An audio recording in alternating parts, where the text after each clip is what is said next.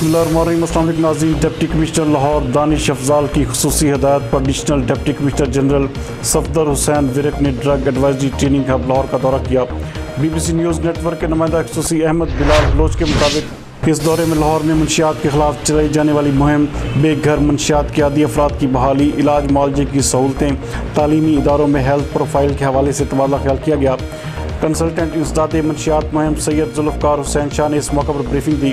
جبکہ incharge school programme Syed Mohsin, ماہر نفسیات سائمہ شہزاد، مرتضی صدیقی، ڈاکٹر شعیب، ڈاکٹر اکرام عدیل راشد، نثار حسین سمیت دیگر بھی اس میں شریک تھے۔ اس موقع پر ایڈیشنل ڈپٹی کمشنر کا کہنا تھا کہ لاہور میں منشیات کے عادی افراد کی بحالی کے لیے حکومت اپنے محدود وسائل میں بے پناہ کام کر رہی ہے، جبکہ منشیات کے خلاف ڈرگ ایڈوائزری ٹریننگ ہب کی خدمات بھی قابل ستائش ہیں۔ صفدر حسین ورک کا کہنا تھا کہ غیر سرکاری اداروں کو نشہ کے خلاف مثبت پیغام دینے کے لیے آگے آنا ہوگا۔